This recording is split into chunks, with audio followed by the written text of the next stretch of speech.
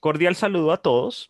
Hoy vamos a ver el resumen de los accionistas de los principales emisores de la bolsa en Colombia a diciembre del año 2020. Vamos a entender cuáles son las compañías con más accionistas, con menos accionistas, cuáles fueron las que más accionistas lograron atraer en el año y en el último semestre.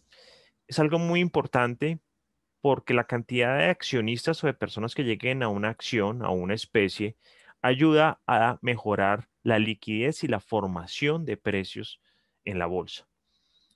Durante el año 2020, que hubo una alta volatilidad, hay acciones que atrajeron gran número de inversionistas, otras no. Pero cada una tiene una razón y aquí vamos a explicar qué hicieron los inversionistas en Colombia con las acciones. Bueno, para continuar, les recuerdo las redes sociales de este servidor, Andrés Moreno Jaramillo. Me pueden seguir en Twitter, Andrés Manía, Instagram, Andrés Manía, en YouTube, Andrés Manía, y en LinkedIn y Facebook con Andrés Moreno Jaramillo. Comparto en estas redes temas de educación financiera, de bolsa de valores, de planeación financiera, para que por favor se inscriban y nos ayuden a compartir. Bueno, primero que todo el ranking de accionistas de las principales especies de la bolsa de junio a diciembre. Em, se fueron algunos pequeños accionistas. Vemos que en, hubo una salida minoritaria, cerca de 3.000 personas se fueron de la bolsa. No es muy grave. La acción con mayor número de accionistas es Ecopetrol, con 257.390 socios. Perdió en el, en el, en el semestre 1.694 socios. Le sigue Grupo Aval, ordinaria y preferencial, le sigue ISA, y como vemos empieza a marcarse muy dura la diferencia entre las seis primeras acciones, que son Ecopetrol, Grupo Aval Ordinaria, PF Aval, ISA, Preferencial Bancolombia y ETV, y las siguientes. De la vivienda para abajo tienen menos de, 14, de 15 mil accionistas, hasta casi Preferencial Semargos que tiene 3 mil. Y de ahí para abajo, con, con concreto, por debajo de 2 mil, realmente son compañías que es muy difícil que logren formar precios. Entonces, por eso la liquidez de estas acciones a veces es muy limitada. Aquí se analizan 33 especies, las, de mayor liquidez, alta y media liquidez, y que han tenido alguna emisión reciente de acciones. Por eso aparece Carvajal Empaques. En general, en el semestre, eh, las compañías que más aumentaron sus accionistas de junio a diciembre eh, fueron Grupo Sura Ordinaria, Nutresa, Preferencial Grupo Sura, Mineros y Grupo Bolívar en número de personas. Sin embargo, en porcentaje llama la atención que es Grupo Bolívar, BBC y Mineros las que más aumentaron, seguidas obviamente por Canacol y por Grupo Sura. Aquí está perfectamente marcado. Ahí se enfocaron los inversionistas en el segundo semestre del año. ¿Quiénes son los que se fueron? Se fueron en Ecopetrol, se fueron en Aval por toma utilidades, se fueron en Bancolombia, seguramente toma utilidades de diciembre, se fueron en Cemex, obviamente por, por la OPA. También vemos en ISA se fueron 318 accionistas, también toma utilidades porque llegó a máximos. Entonces, como se dan cuenta, en la medida que una eh, especie tiene menos accionistas, tienden a ser de media liquidez.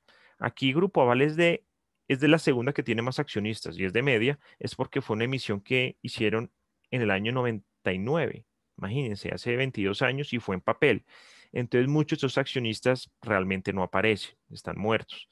ETV lo mismo, fue en el año 2004 la mayoría de accionistas que quedan de hace 17 años tienen muy poquitas acciones. Bogotá no ha hecho emisiones de acciones, digamos, grandes al público, pero la, la mayoría son compañías de alta liquidez. Digamos, tener más de 5.000 accionistas te ayuda bastante a eso. Ya siguiendo, vemos el top de los 27 emisores con más accionistas. Número uno, Ecopetrol, 259.057 mil socios, es el 49,5% del total, casi que la mitad de la bolsa son solamente Ecopetrol. Le sigue Grupo Aval, ordinaria y preferencial, tienen 64 mil ah, socios, Recordemos que cuando estamos hablando mal de Grupo Aval, no estamos hablando mal solamente de los dueños, sino también de 64 mil personas que son como ustedes y como yo, y cientos de miles de empleados. Bancolombia, 32 mil accionistas. ISA, 24.951 accionistas. ETB, 22.018 accionistas. Y ya de ahí para abajo empieza el ranking entre los, de, los que tienen entre 10.000 y 15.000 accionistas, que son el GEA más que todo, Bogotá y da Vivienda. Y ya de ahí para abajo, sobre todo los que tienen entre 10 mil y 5 mil, empieza a dificultarse la liquidez. De con concreto para abajo, como les he dicho, debajo de 2.000 accionistas es muy difícil que una compañía tenga una importante liquidez en la bolsa. Ojalá todas estas acciones cada vez tengan más, más inversionistas, se forman mejor los precios. En total, a diciembre de 2019, entre los principales y los emisores, digamos, con los que se puede contar accionistas, son 519.650 personas invirtiendo en el mercado accionario. Aquí vemos por grupos, Ecopetrol tiene 257 mm, mil, es el 49%. GEA ya superó a Sarmiento Angulo, tiene 86 mil socios.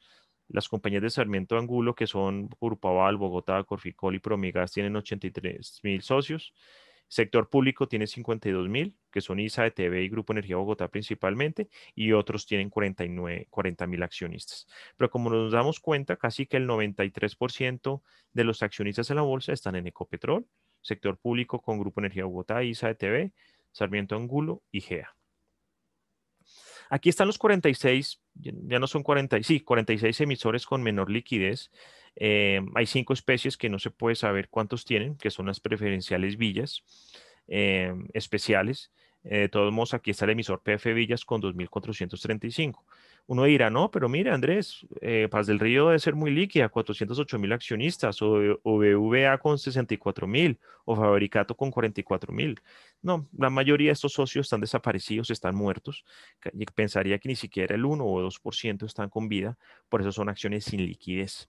Cartón, por ejemplo, hizo una OPA y hay 2 mil personas que no aparecen. Si sean estos, a Coltejer hizo una OPA y hay 25 mil personas que no aparecen. Paz del Río hizo hace 13 años una OPA y hubo 400 mil personas que no aparecieron. Entonces son acciones que no puedes tú contar. BBVA hizo una OPA hace 20 años y esas acciones, pues esos accionistas no las tenían en papel, no existen.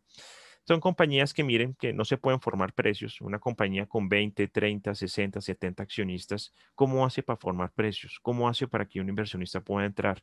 Realmente eh, no es necesariamente culpa de la bolsa, pero sí ojalá estos emisores eh, entren más duro al mercado bursátil con capitalización, con emisión de acciones, para que sean mucho más atractivos.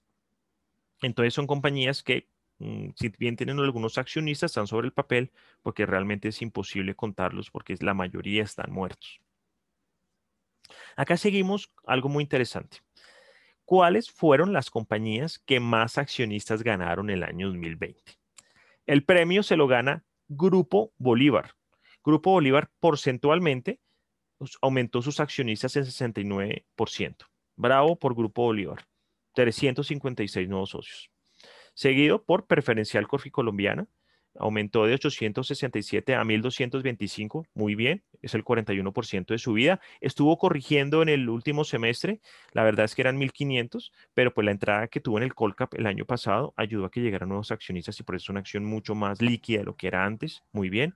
Sigue también con un gran aumento de accionistas BBC y Terpel, interesante, eran compañías pues realmente que vale la pena invertir, y Grupo Sur y Grupo Argos, en porcentaje. En número de personas, los que más accionistas trajeron eh, este año fueron PF Aval, Preferencial Bancolombia, Grupo Argos y Grupo Sura. En número de personas. Ahí fueron donde llegaron los inversionistas. Me parece que es muy acertado esas cuatro apuestas que se hicieron, en especial en las compañías del GEA. Son compañías subvaloradas. Y pues obviamente también Grupo Aval. Entonces, las ganadoras porcentualmente están acá y en aquí en azul les marqué las ganadoras en número de accionistas.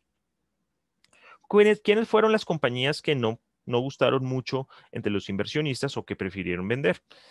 En, porcentaje está obviamente el 50% en CLH, la mitad de los accionistas vendieron por la OPA, obviamente. Grupo Energía Bogotá cayeron un 10% los accionistas. La razón es que esta compañía llegó a máximos históricos y las personas prefirieron vender. PF Carvajal siguen los accionistas después de una OPA de hace tres años, siguen, digamos, vendiendo y ya es una compañía pues que casi que perdería toda liquidez. Enca está ahorita con el mínimo número de socios, es lógico también, es una compañía sin liquidez y ante la subida de precio, mucho accionista atrapado aprovechó y vendió. Y en número de personas, la, que más perdió fue Ecopetrol. Pues Ecopetrol tiene 257 mil socios, pues son muchas personas que en cualquier momento salen y venden y el pulso normalmente lo ganan los vendedores. Eh, CLH, pues casi mil personas se fueron. Grupo Energía Bogotá, 638 accionistas, que es bastante. Eso puede afectar la liquidez de la acción. E ISA con 503 socios en el año, precisamente por los máximos que tuvo, eh, muchas personas tomaron utilidades. Finalmente, en el año llegaron 5.986 personas. Pasamos de ser 513.000 a 519.000, una subida del 1.2%, que fue, es muy bueno. Ya les voy a mostrar por qué la bolsa venía cayendo de accionistas. Miren, veníamos, hemos perdido desde el 2011 hasta junio, hasta diciembre de 2020, 501 mil accionistas, casi el 49% de lo que había hace nueve años, pero ya se frenó esa tendencia. Parece que la bolsa logró tener un piso y toda esta caída que hubo en los mercados y COVID logró eso. Afortunadamente logramos frenar esa salida. Sin embargo, el freno fue muy fuerte en el primer semestre del año pero en el segundo semestre sí salieron nuevos accionistas. Es importante que lleguen nuevos emisores, que lleguen más jugadores al mercado para que la bolsa mejore su liquidez. Aquí vemos el resumen de todo desde el año 99, cómo vino subiendo el número de accionistas y cómo finalmente viene bajando y frenó. Frenó temporalmente. Vamos a ver. Si viene una OPA de ISA, si, si Ecopetrol sube de precio, de pronto algunos accionistas venderán, pero en la medida esto sube, cuando llegan emisiones y nuevos, eh, nuevas especies. La oferta de acciones trae nuevos inversionistas al mercado increíblemente. Entonces, bueno, pareciera que llegamos a un piso. Esperemos que en este primer semestre del año no se vaya la gente en estampida. Aquí vemos lo que viene pasando con los minoritarios. Todos los años salían el 7, el 8%, el 9, el 10. Desde el 2016 al 2018 se iban de a 70 mil personas cada año. Y bueno, aquí logramos por fin por primera vez desde el año 2012 revertir la tendencia. Llegaron 5.000 personas con un aumento tímido del 1.9%, pero muy bien. Ya veníamos desde el 2019 disminuyendo esa tendencia de salida. Eh, ¿Qué pasará en el 2021? No se sabe. Depende de las emisiones nuevas. Si no hay emisiones nuevas, esto vuelve y cae. Es una realidad. Si los precios se disparan, esto vuelve y cae, porque la gente toma utilidades y se va. Entonces es interesante que esa tendencia empiece a crecer de nuevo. Aquí está la salida de accionistas minoritarios de Ecopetrol, que ayuda mucho a explicar la anterior gráfica, porque Ecopetrol pues, es el que más pesa.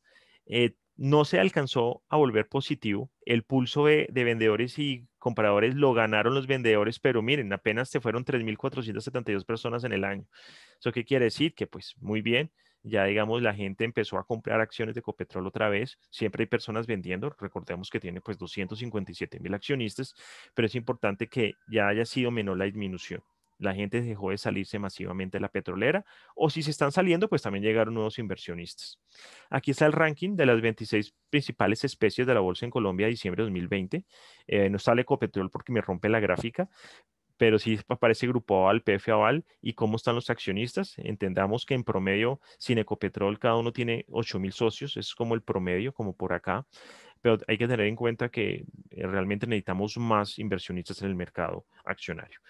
Bueno, esta es una pequeña charla de educación financiera y entender cómo se forman los precios en la bolsa y quiénes son los inversionistas, por lo menos en número, detrás de cada una de las especies.